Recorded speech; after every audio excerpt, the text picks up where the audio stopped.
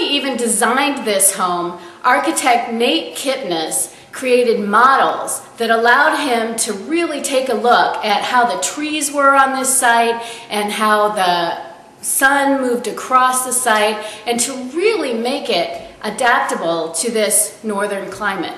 This is uh, these are some images of uh, the house that we did in Sturgeon Bay and it has a component that's passive solar. We had a courtyard facing south and we wanted to uh, bring in some southern light from there. And what we like to do in the office is to model a lot of the projects that we do to see how the sun is really going to interact. And when we're out in the field on a project like this we try and spot some of the trees that are important to us.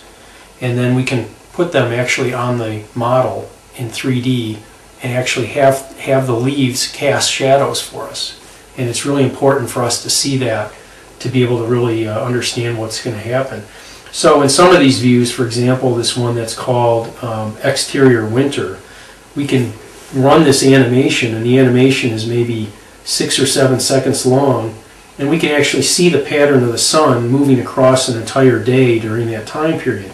There's a small um, timeline, a time spot that tells us the time of day that's going on. So I can actually make this thing move across and go, okay, at 10 o'clock, that's exactly where the sun is on December 21st. And we know the latitude and longitude of this project, so it's very, very accurate. We could come back here and actually see the house on that day, and it'll be right where we project it would be. Um, we also can do an interior view, so I'm looking at the interior winter shot, and we can see the sun moving through the space in that same seven second time interval as if it's capturing the sun over the entire day. And what's really fun to do is to run these simultaneously and you can really get a sense of how the sun moves both inside and out.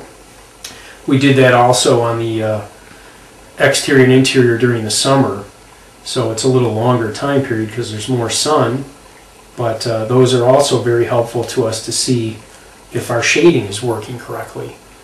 Um, we have the uh, light tower shaded, so that's taking some of the sun out that would normally be coming in.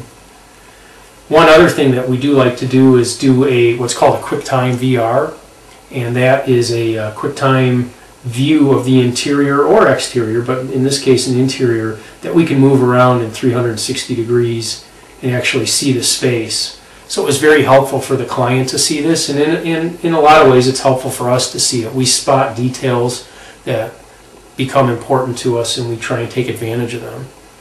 So most of the projects we do try and incorporate some 3D work and some fairly substantial work because we think it's really, really important.